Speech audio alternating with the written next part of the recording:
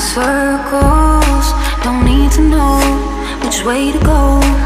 Caught up in emotion, with feelings I I can't control.